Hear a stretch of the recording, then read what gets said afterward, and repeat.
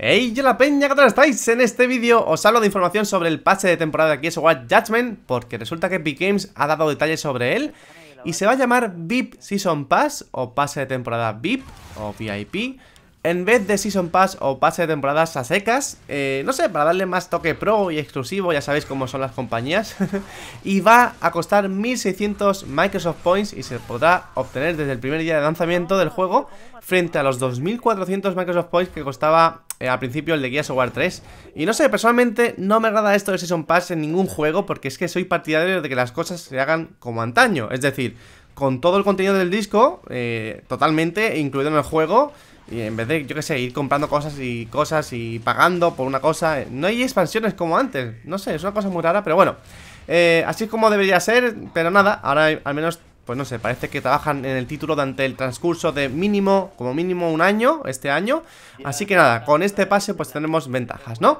Por lo visto este pase es una especie de pack Donde aparte de que con esto nos ahorramos un 20% del precio de cada pack por separado Nos va a incluir lo siguiente el doble de experiencia para el multijugador de forma permanente, es decir, ganas el doble siempre en cualquier modo online.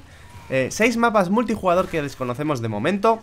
5 nuevas skins para las armas. 4 nuevas skins para las armaduras. Acceso anticipado a los nuevos mapas y los dos primeros DLCs del mapa multijugador, que serán 6 en total. Y dos nuevos modos de juego. Eh, tanto los 6 mapas como los dos modos de juego de momento los desconocemos. En este pack no está incluido los mapas de Haven y Capitol, que se anunció relativamente poquísimo, al igual que el modo ejecución, porque ambas cosas son gratuitas, gratis, para todo el mundo a los 10 días del lanzamiento del juego, mediante un DLC que se descargará gratuitamente para todos nosotros. Eh, y bueno, aparte de esta información, han puesto el Season Pass y todos los DLCs, skins e imágenes de Gears War 3 al 50% a la mitad de precio, por si alguien aún estaba dudando a estas alturas en descargarse algún pack, pues no sé, ya lo sabe, ¿no?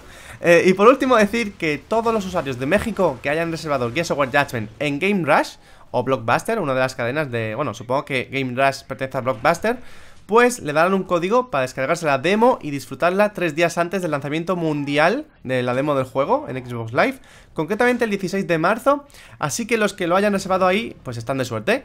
Así que nada chicos, esta información pues es prácticamente buena para todos nosotros, que lo sepamos sobre todo para lo de la demo de México, pues que estén de suerte y espero que así sea. Y cada día pues va saliendo mucha más información porque ya estamos muy cerca del juego, ya queda menos de un mes. Jolín, parece impresionante. Jolín, tengo unas ganas impresionantes de tenerlo ya. Y gracias a todos los usuarios que están súper atentos por compartirme esta información, porque ayuda muchísimo la iniciativa. Y sin más, soy Lu y nos vemos en el próximo vídeo. Y hasta la próxima. Chao, chao, chao, chao. chao.